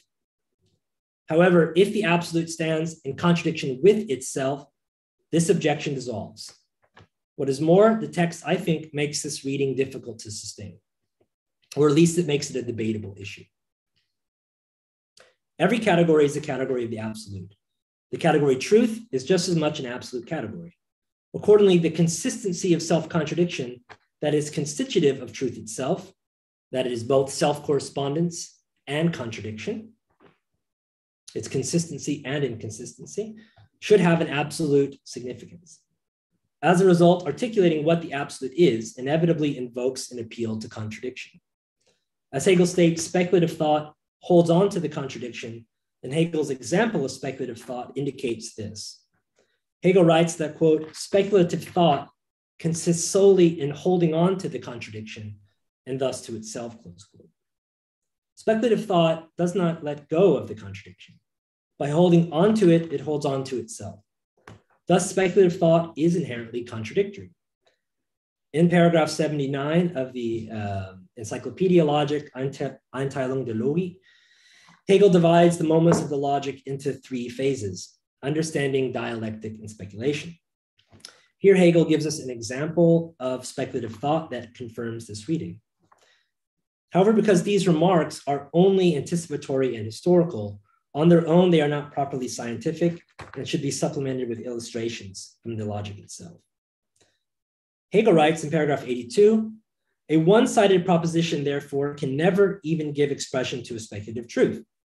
If we say, for example, that the absolute is the unity of subjective and objective, we are undoubtedly in the right, but so far one sided as we enunciate the unity only and lay the accent upon it, forgetting that in reality, the subjective and objective are not merely identical, but also distinct, close quote.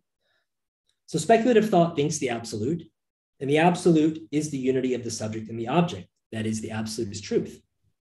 It is the unity of the concept and the object. However, this is a relative concept of the absolute, for it only predicates one side of an opposition to the absolute. In order to articulate the speculative truth, one must also enunciate the difference between concept and its object, that is to say, the lack of correspondence between the two, namely falsehood. The absolute is also the difference between concept and object. The absolute is both the unity of concept and object and their lack of unity. It is true that the absolute is consistent. However, this is a one sided or relative truth. It is also true that the absolute is contradictory. This is also true, but it is a one sided or relative truth. Each proclamation excludes something true. In the former case, the absolute precludes the contradiction and is thereby not all encompassing, not absolute. In the latter case, the absolute is relativized too, for it precludes consistency. Each articulation of the absolute is only a relativized one. According to Hegel, every judgment is one sided on account of its form and to that extent false. The concept of the false as the one sided motivates the dialetheic concept of truth advocated here, for the falsehood of what is one sided implies a commitment to the falsehood of consistency. By affirming one side of an opposition and negating its opposite, the absolute is a consistent, finite being transcended by its other. However, such a consistent absolute is only a relative, one sided, and therefore false one. However, what is the falsehood of the absolute? If truth is self correspondence, the, con- the consistent concept of the absolute should be true. However, when the true is taken to be true, it turns out to be false.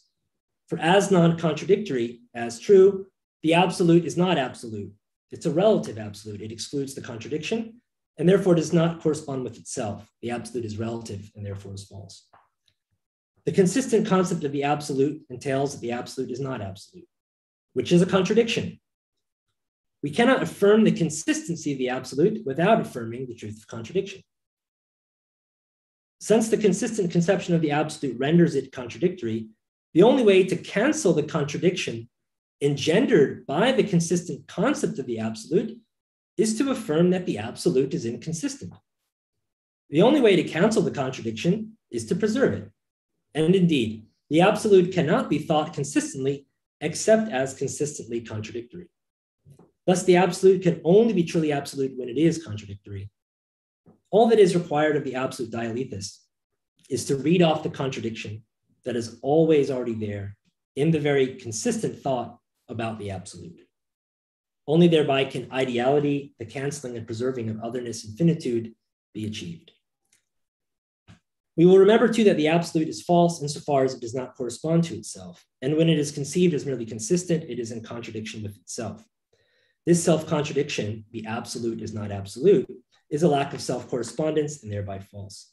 Thus, one will raise the objection that the absolute is false if it is only self contradictory. This is true. However, when the false is recognized as false, this self contradiction is consistently conceived, corresponds with itself, and is thereby true. The speculative concept of the absolute is not one sided. It thinks the absolute absolutely. The absolute is only truly absolute if it is consistent and contradictory. Only once we recognize that the absolute is both consistent and contradictory do we have an absolute articulation of it. The absolute corresponds to itself. It is true when the absolute is thought absolutely in the contradiction and in the consistency of the contradiction. Because Hegel takes consistency to be an absolute truth, the consistent is itself already a unity of consistency and contradiction. Likewise, because the contradiction is also an absolute truth, the contradiction is itself a unity of consistency and contradiction. Note that although the consistent occupies both sides, so does contradiction. Where the absolute is, there the contradiction is too. The absolute maintains this character of the concept that is both the whole and the element of the whole. Hegel writes, each of the moments is just as much the whole as it is a determinate concept and a determination of the concept, close quote. Intriguingly, Hegel notes that the speculative is identical in meaning with what the philosophical tradition called the mystical or mysticism. I won't talk about this too much, I promise. A cursory reading of Pseudo Dionysius shows that the mystical apprehends the absolute as something contradictory. Pseudo Dionysius writes uh, that the absolute or God is the being beyond being, huper ousia ousia, that is to say, the being beyond being. However, mysticism, according to Hegel, gave up on thought. It could not articulate the truth of that contradiction in a concept.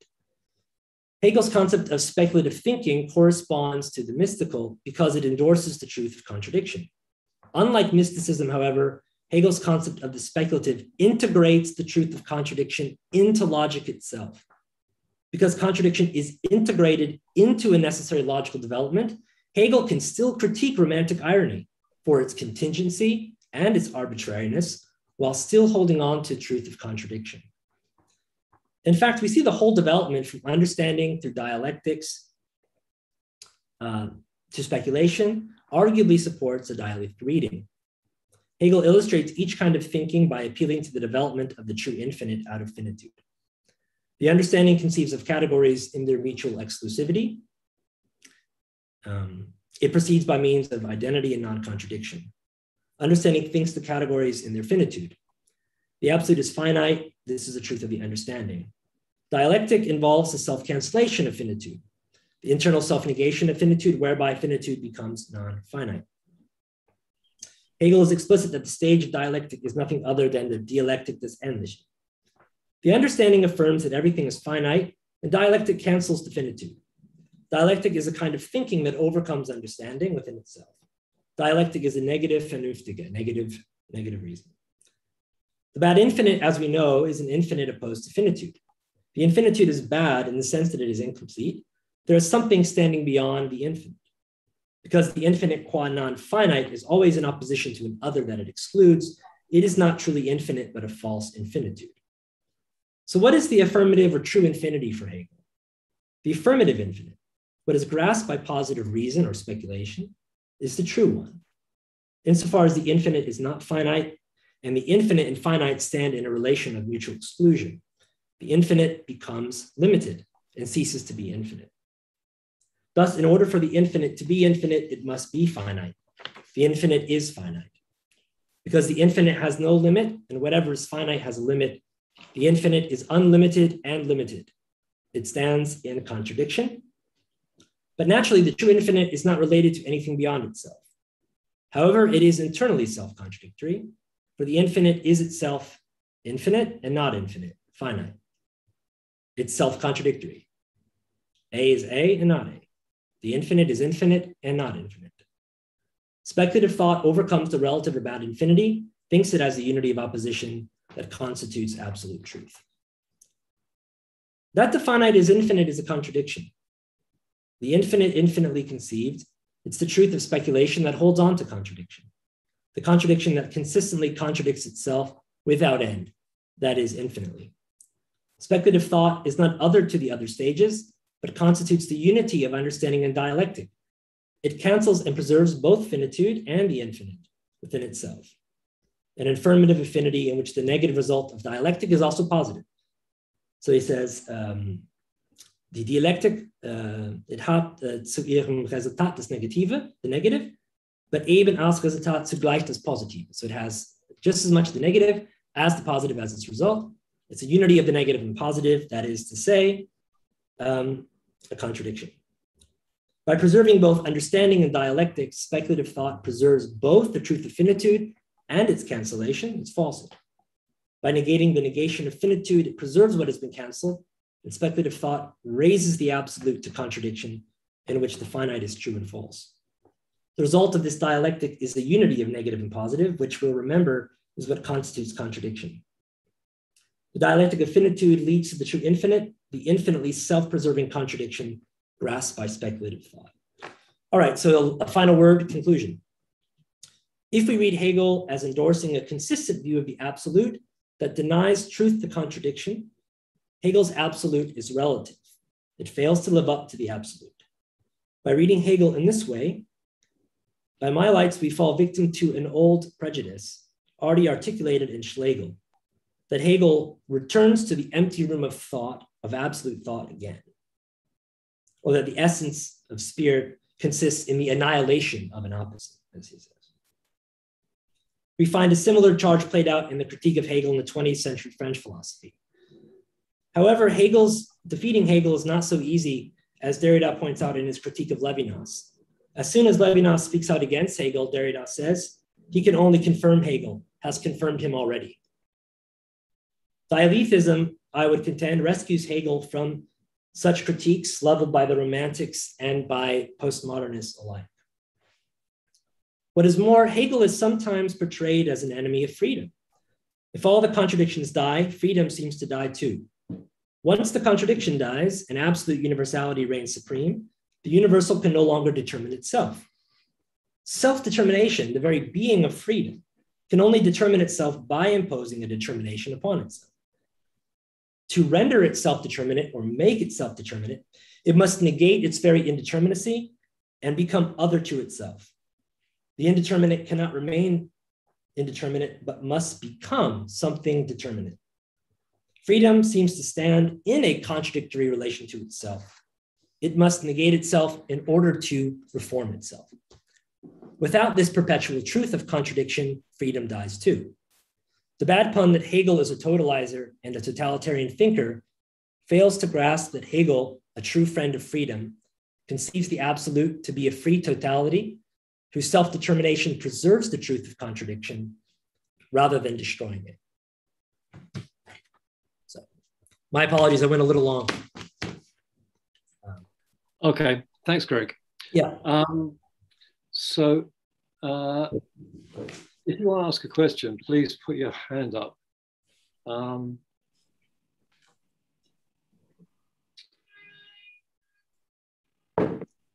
okay, there are no hands appearing at the moment. Uh, I saw Anthony. So, Anthony had oh, a hand. Okay. What actually what I meant was put your electronic hand up. Okay. Um, um, Maybe you can tell people again how to do that. I, I don't know if everyone knows how to do it. I think. Um, All right. Um, at the bottom of the screen, uh, you will see an icon which says reactions. Hmm. Okay. And one of those reactions is raise hand. Hmm. It's, it's just easier to see who wants to talk and what order they want to talk in. Uh, oh, sorry, that's my clapping hand. Sorry, that's not my. So. Yeah. Okay, so not your clapping hand, your other hand. Okay. Uh, all right. Uh, Anna, Michaela, uh, Paul. Oh no, Paul's got his thumb up. We sort that out. Okay, Eleanor. Okay, shall I start? So yep. I, okay. Um, thank, thank you, Greg, for this very rich uh, um, paper. Um, I uh, am always thinking about uh, um, the way in which one could explain Hegel's logic uh, to contemporary philosophers, to contemporary analytical philosophers, and to contemporary logicians. Yeah. Um, and um, so already uh, Adorno said uh, that uh, when you talk about Hegel's logic, nobody understands what, what it is. Um, uh, so, and, and Adorno was one of the people who knew Hegel best, perhaps in his times. Um, so, so my question is, uh, I, I, I, found interesting, for example, what you said about the pres- presuppositionless, uh, presuppositionlessness, okay? Well, okay. uh, the, the um, Voraussetzungslosigkeit of uh, Hegel's logic. And so you said, um, um, so you cannot assume, for example, that the law of non-contradiction is uh, valid. Uh, so if if we take Hegel seriously about uh, uh, the Voraussetzungslosigkeit of his logic, then we should say, okay, the law of non-contradiction cannot be assumed as a as a law. Uh, and um, at the same time, you stressed that contradiction can be interpreted as a, as a law, as a rule, or as the form of Hegel's logic. So, how can you um, mm, explain this, this idea? Is uh, then contradiction as form or contradiction as rule of Hegel's logic a presupposition? If, if yes, if it is, how? Then uh, another question is, I think one should explain what is meant by contradiction, but I think you, it is impossible to explain it uh, pro probably because I, as, as I can understand, even logicians uh, do not agree about the meaning of contradictions or find uh, at least 30 different meanings of contradiction. So, so perhaps uh, it would be interesting to um, okay so my my my my my my, my idea was while you were talking was uh, what is meant by contradiction? What uh, is it a relationship? According to you does does hegel think about contradiction as a relationship uh, among sentences or among propositions or concepts or terms? And uh, and then uh, the the meaning of truth uh, so you say uh, Hegel defines truth as the self correspondence. Um, I don't know, perhaps it is uh, just a matter of translation into English. Because what I know about Hegel's definition of truth is just that he says, uh, well, the definition according to which uh, truth is correspondence of the uh, so the nominal definition, as Kant uh, takes it, uh, namely correspondence of the knowledge with the object, is of the greatest importance. So also according to Hegel, the, this definition is very, very basic, important, but it is, so his definition is not self, self-correspondence, but perhaps, perhaps it is a matter of translation. And then also a matter of interpretation of of what Hegel actually means by truth, because one could say, okay, there is, according to Hegel, there is no reality uh, beyond the, the concept, and, uh, and so we could say uh, truth is just the correspondence of the concept with itself. But I don't think that you you want to to have such an interpretation of Hegel. I think Hegel. So it would be. I, I don't agree with such an interpretation of Hegel. And I, am not sure that you would like to stress such a non-realistic interpretation of Hegel or a coherentistic in a way interpretation. Uh, okay. So. Okay, so Eleanor, Greg, um, there are 20 minutes left and there are already another three people in the queue. So can you make questions and answers brief, please? Yeah. Okay, yeah, thank you very much for the questions. I'll try to be, those are really uh, good questions and um, I'll, I'll try to be quick. Okay, so no one understands Hegel, that's true, and probably no one will understand him in the future. So I take that as a given. Still, we, we, we Oh, wait, no, no, one understands Hegel's uh, science of logic. Oh, yeah, yeah, yeah. Okay. Actually, I think science of logic is the clearest text. I think it's much clearer than phenomenology, which is like swallowing a brick. So let, let me just qualify that. Okay. Um, but the first thing that I want to say is, yeah, I think um, the science of logic you could say begins without presupposition. In that way, it's, it's one could say to be colorful, it's anarchical. It doesn't have a principle. But my view is that it develops a principle, namely that you begin with the groundless and you end up with the concept of ground. Namely, you end up with, again, if you go all the way to the end, the method, which is what grounds the whole thing. So you do you do get a ground. Uh, but the ground itself is something grounded by the logic itself. That's its self determining character. So um, it's an anarchism that undermines itself and therefore posits a principle. So Hegel is justified to say that there's one, there's one principle of truth, which for him is the concept. Um, now, what is contradiction? The reason why I was being so text, uh, text-based here is because some people would complain that calling Hegel a dialetheist is a kind of anachronistic reading that is projecting ideas onto Hegel that isn't there, right?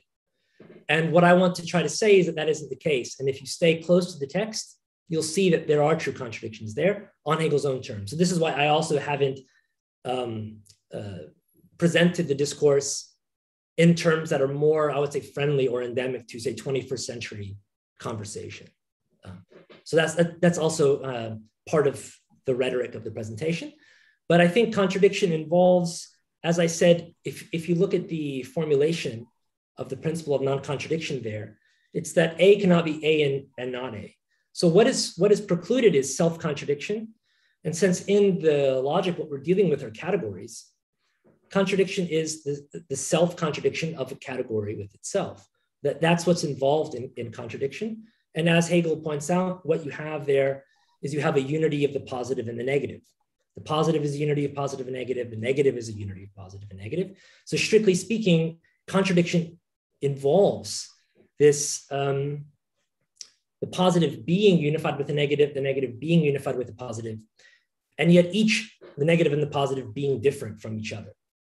So, um, as I tried to lay out, when Hegel talks about contradiction, he's not just talking about this or that contradiction, he's talking about the absolute contradiction, right? That's what the text says. Each, right? It's in the absolute category that is somehow in contradiction with itself. Um, and this is why I've, I've used the term absolute dialetheism. I could just talk about, hey, absolute contradiction. I just want to add true to that, uh, that description.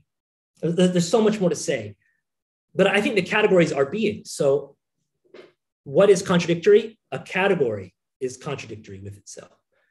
You can, it's also the case, I think, in Hegel that propositions are contradictory.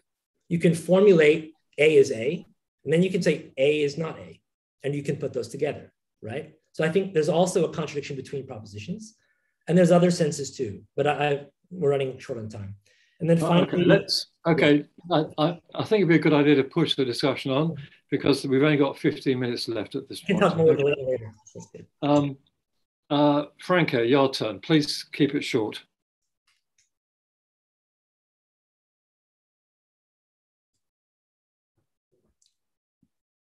Franca, if you're talking, you're muted.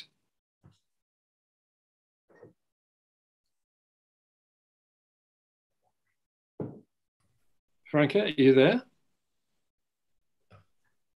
The problem is that uh, I have a connection uh, which uh, is not so firm. Um, well, I, I wanted to ask many things, but we don't have time. So I, I only wanted some, uh, just like uh, my daughter, uh, I have some lexical problem concerning the vocabulary in a sense. Um, because, but I want to ask first, absolute. Uh, Hegel, as far as I know, thought that uh, uh, logic uh, is uh, the expression of absolute thought and absolute language thought, absolute logos. Uh, which, uh, uh, according to him, coincide, coincides with being. First, can dialetheists share this point, this uh, view first? Second, can you share this view? And third, can we share this uh, absolute view about logic? And if yes, we, uh, we can, uh, what can we intend by, by absolute? Second, is it true that Hegel confounds uh, difference uh, and negation because I have seen that you have uh, particularly stressed the difference from difference, the difference from itself. Um, is it true this idea mm, from Trendelenburg to Croce to Deleuze that Hegel confounds uh, the two terms? Uh, so interpret uh, difference as negation, negation uh, mm, as this difference, and so on. Third question Is self contradiction the only absolute contradiction? And the last, the last question, but you don't have to answer. Um, it, is, it is not important. We don't have time. Um, I will write you. Uh, okay. Um, is it true uh, for us, uh, like it is true for Hegel, that uh, the only uh, reality which is worth considering in philosophy is conceptual reality. That's okay, all. Yeah, thank you very much. So let me say to the first question, yes, yes, yes, and yes. So yes, all. okay, fine, good. Second question. yeah. uh, does he confound difference and negation? Not at all, because negation is a completely separate category from difference. Difference requires yeah, negation. Sure, but Hegel confounds uh, yeah. sometimes. But I think no, negation is true. negation is uh, necessary for difference. It's integrated into difference uh, but difference and negation, I think it would be a mistake to equivocate upon them. But you can appeal when you talk so about Trendelenburg, Croce, and Deleuze were uh, wrong. Frank, Franca, let, us there are other people in the queue. And yeah. then um, okay. number three, I would say there are there are many other contradictions besides the self contradiction of self. Yeah. Mm-hmm. Uh, and indeed, you can go category by category, like um, yeah, the self contradiction of self contradiction is a formal expression that then you can find articulated in the various contradictions in the logic, like being is nothing, uh, the, the infinite is finite, right? So I was just looking at one to illustrate how contradiction, even though it's sublated, is preserved in ground so that it not canceled, but it, but it remains there. And then lastly, I would say that for Hegel, uh, I don't think there's anything beyond the concept. Actually, I mean, I view, I, I read him as a monist, which I know is not popular, but I actually think that the object. Do you share this view? Yes, I, I do think. you agree with Hegel? Well, oh, do I? Uh, no, no. I mean, I am. Uh, I, am going to push the conversation on at this stage. Okay. Yeah, yeah, uh, yeah. Thank Stefan. you. I thank you for thank your you. answers. Thanks. Okay, thank you for your talk. Um, so my question is, you said that each concept or each category is an instance of the absolute. So, in a way, it seems like you're thinking that each category or thought determination in the logic is as an instantiation of the absolute at the same level. Like we have being, we have nothingness, we have Dasein, we have becoming, we have blah, blah, blah, blah, blah, up until the um, absolute idea. Um, and each is like just there and identical with itself and at the same time contradictory to itself. So one uh, one thing is it runs against a lot of interpretations of Hegel who would say like Theunissen or Wolfgang Wieland or whoever that the beginning of logic is an illusion or is in a way deficient and um, it's not a good definition of the absolute and there is like a climax um, up to the end and the last idea is the best definition of the absolute or the only definition of the absolute, um, which I wouldn't agree, but would be an argument against you. But um, in your definition of truth, you left out the definition that um, the truth is, is, the whole. So it seems to be the whole process of logic, which is truth, and not each idea in itself. And you seem to run in some sort of kind of Platonism, like in Sophistes, that um, we have these um, determinations of logic and they are like the ideas in themselves and then like the um, um, of the ideas they are just connected to each other but it doesn't seem to me like this that um, hegel really thinks that we have these um, determinations and then they are also related to each other but they are a result of a process um, so yeah. Yeah. Thanks for your question. So to be brief, I think that the um, you're exactly right that the true is the whole, and actually um, that's something that I've tried to emphasize in emphasizing that even the category of truth is an absolute category. So when we talk about truth, we're talking about the whole. So what I've said is is in no way out of sync with with with the view that truth is the whole, and actually the whole idea that self contradiction is the ground that posits particular categories. Being contradicts itself, produces nothing. The finitude contradicts itself, produces the infinite. It's not like you have all these uh, separate categories that then someone is connecting, but rather you have a self transforming process that can be described as self contradiction, right? So um, my reading is Platonic in another way, though. The way that it's Platonic is that what you have in the logic are atemporal categories that are involved in a process of self transformation. I mean, if you can find time in the logic, I would be very interested to find where that is. Rather, what you have are categories that are atemporal and at the same time are undergoing a process of transformation. I think that's why Jens Halfwassen was exactly right to locate the point of connection between Neoplatonism and Hegel. Because if you look at the Neoplatonists, what do they have? They have one intellect and soul, right? And what is the intellect? It's thought thinking itself, right? It's it's it's not yet nature. It's in motion, right? And yet it's staying the same as itself. The Neoplatonists also have this idea of uh, thought thinking itself that's atemporal, that's involved in self transformation. So uh, there are Platonic links. I think my reading does stress that side of things. I don't want to deny that, but I don't think that comes at the cost of development uh, in any way.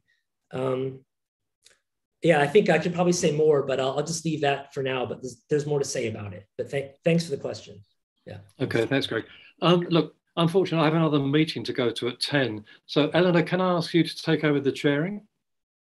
we can go maybe five or 10 minutes over since we had the introductions, if that's okay with, with me. Yeah, uh, that, that's fine by me. I just have to go for another meeting.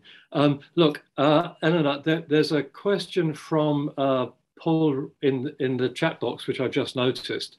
So I think probably we should let him go next because uh, with the time zone he's in. Um, then there's Anthony and then there's Michaela. Okay, so those are the three people in the queue I have at the moment. Okay, so uh, Paul. Right, thanks, Graham. Um, I couldn't find the electronic hand. Um, my, my, I'm uh, the Platonism thing uh, was what, um, as we got got my attention, um, but specifically the atemporality uh, aspect of it, and that I don't see really how that sits with another dimension that you were stressing later on, um, concerning the concept of self-particularizing. Okay. Goodbye, Graham. Thanks a lot. You can can you hear me? Yes, yes, yes, I can. Right. The concept of self-particularizing. Now, I take it that I mean your use of particular there is the sort of English use, which is not Hegel's use, right? I mean, uh, the English use blurs Hegel's distinction between Einzeln and Besonder, you know, singular and particular. And I take the, the sort of Hegelian sense of self-particularizing as the sort of thing, you know, that he likes in Christianity, that God becomes someone, right? The concept becomes something. And that someone was in time. and we can't deny that. The concept becomes temporal in Hegel. Um, yeah. That doesn't seem to be to be in, temp, in tension with Platonism, actually. Uh, and I think you're right that Hegel's Platonism is heavily refracted through sort of Neoplatonism, but I don't think that makes him committed to um, absolute uh, atemporality in logic, as you were suggesting. Okay, yeah, thanks so much for your question. I'm glad you asked it because I've restricted the my talk to the logic per se. I didn't address um, the relation of concept to time, right? So much. But I think that the, um, I don't deny that the concept becomes temporal. Um, or, or that the concept isn't uh, temporal at all. I mean, I think that's what happens with nature. So when logic completes itself and then becomes external to itself as nature, you have space and time.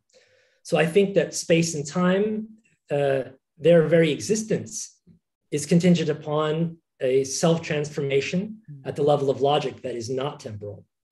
And I would say then that yes, there is this whole development in nature, the development of organ uh, of the inorganic and then the organic, and then the, the minded organic, and then the, the minded organic that knows itself and then that engages in philosophy. And all of that's going on.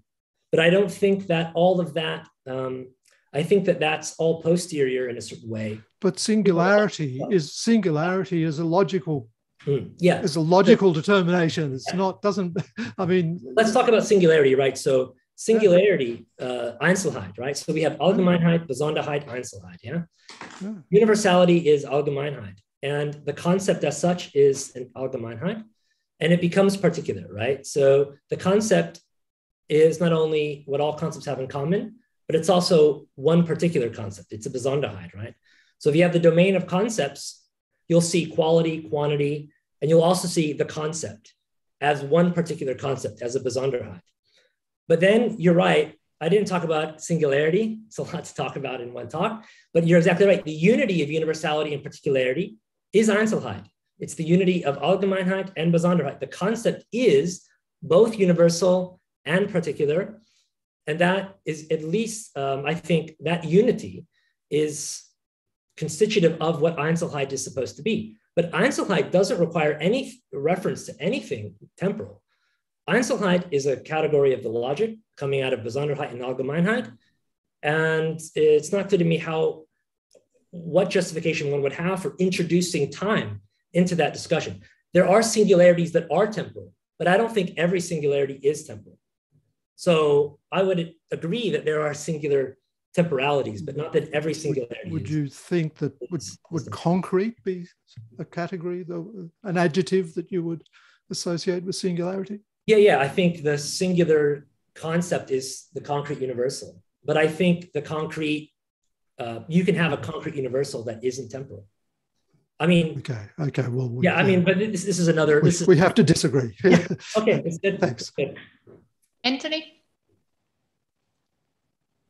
Thanks for your talk. Um, so Hegel defines to sublate as to preserve and to cause to cease, and you were emphasizing contradictions being preserved in uh, an act of sublation. So I wonder if you could say a bit about how it is that um, being an act of sublation, in that act, a contradiction would be caused to cease. Yeah, so actually this becomes, um, once you emphasize the side, the side of preservation, then the question comes up, well, what's the, how is it canceled at all? Is there any canceling going on at all? So that that might be the, the worry, rather than uh, preservation being the worry. Now one might worry: is it ever canceled? Right? and there's a sense in which it is canceled, and I think one sense in which it's canceled is that it is one of the categories among others. There are categories that come after it. Uh, it's not sufficient for the full articulation, as it turns out, of the absolute. So the absolute turns out to cancel contradiction in that sense. Contradiction is one category, right? Among others, it's a relative uh, to the others, right? It's one determination, excluding others, and it's one determination of the logic as a whole, right? On the other hand, it is also um, a definition of the absolute. So, on the other hand, it's also the case that it has application to all the categories. And in that way, I'm saying that it's preserved. So it has this, um, and I think you can see this at the level of um, that the absolute has to both be absolute and it has to be relative, right? So whatever the absolute is going to be, right, it's going to be absolute, all encompassing, but it's also going to be one of those and not the others.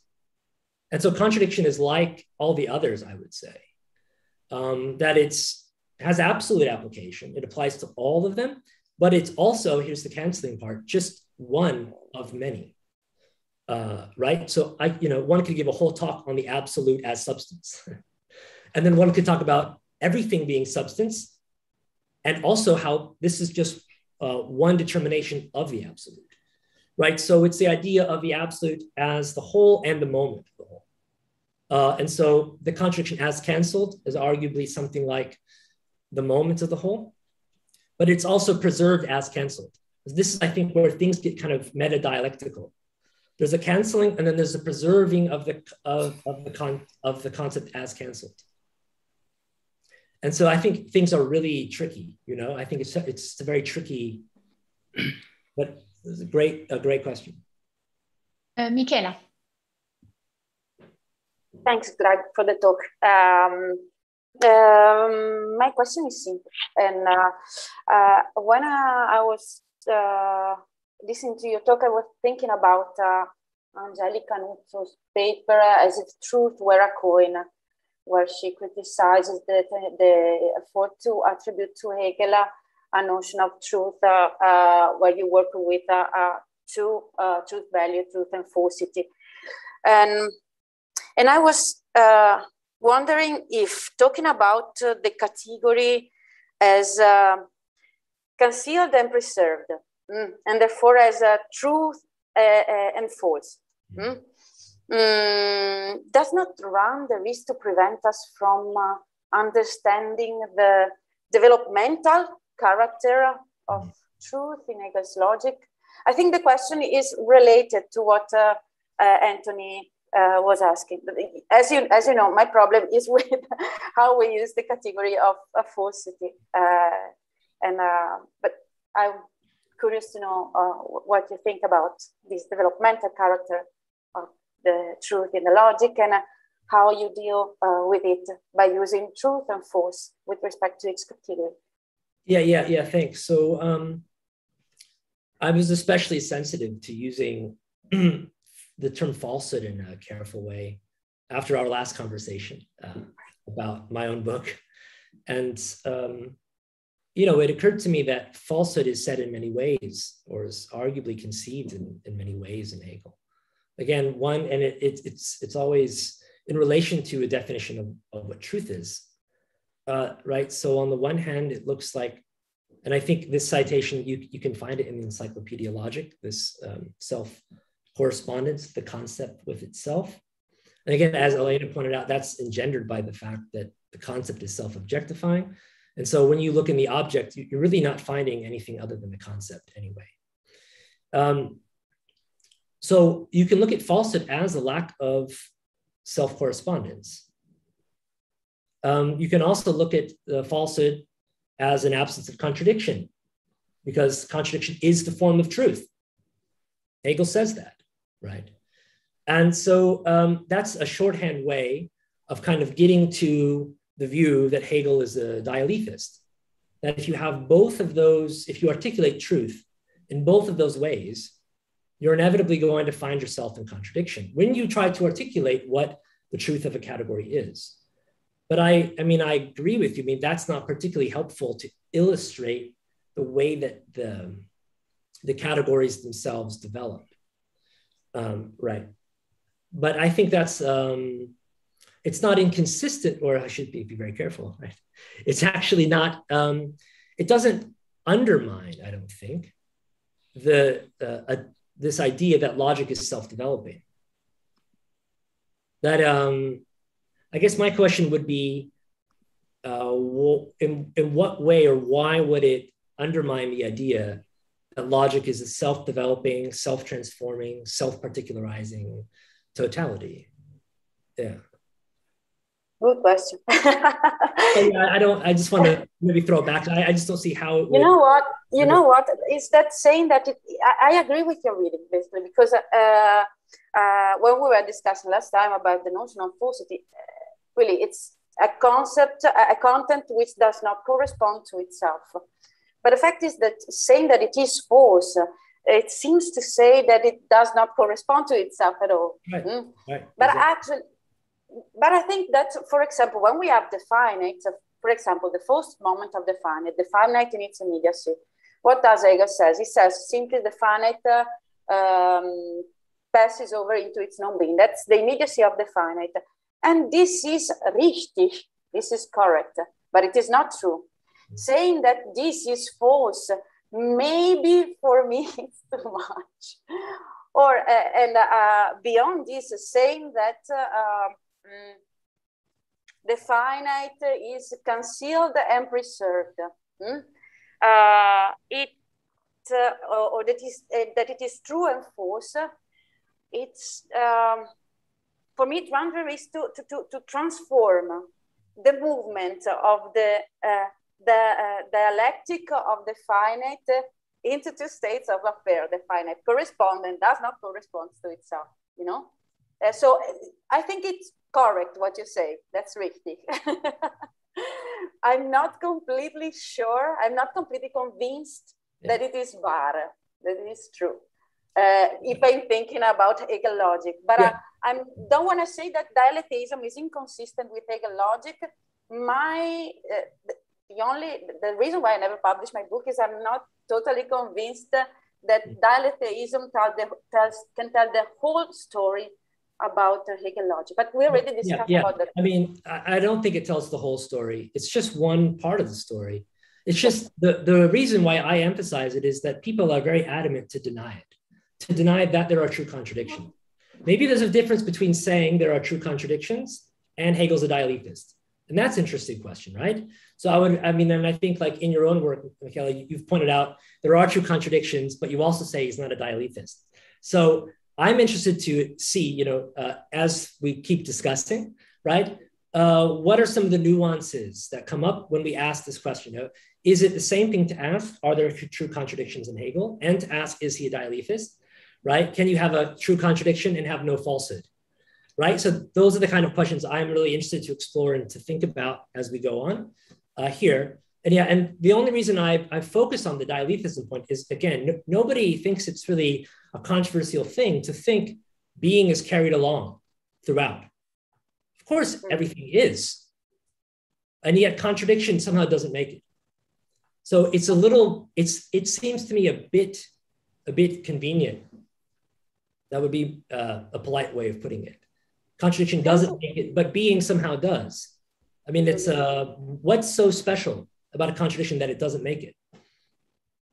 Or uh, why is it not? Yeah. Okay. Yes, Michela. Uh, last thing. Is, uh, this is something that is uh, related to what Elena has asked at the beginning, uh, because you, you asked, uh, can we have a contradiction without having falsity? And my answer would be depends on what definition of contradiction you use. Exactly. If you are using a semantic notion of contradiction, uh, it's impossible to have a contradiction without having falsity. But you, we know that we have also other definition of contradiction, ontological, syntactical, pragmatical, and so on. But I stop here and thank you so much. I'm looking forward for our next discussion. yes, yes, this last uh, point uh, is uh, absolutely crucial. And I think it is going to be the, the one of the main point of our discussion I think so. Uh, during the yeah the next the presentations. Thank you so much, uh, Greg, for your talk. Thank you, um, Michela, Stefan, Franca, for uh, and uh, Paul and Graham and Anthony to for for the participation. And uh, I look forward to seeing you next week on Monday. Yeah, thanks everybody. Uh, thanks everyone for sticking around, asking your great, great questions. Sorry we kind of were short on time. Next week we shouldn't be so short. So yeah, my talk is going to be very short next. okay, we'll have a lot of time to ask you questions next time. Okay. Bye. Thanks everybody. Bye guys. Bye. See you next Bye. time. Bye bye. Thank you. Thank Bye. you, Greg. Yeah, thank you. Nice to meet you.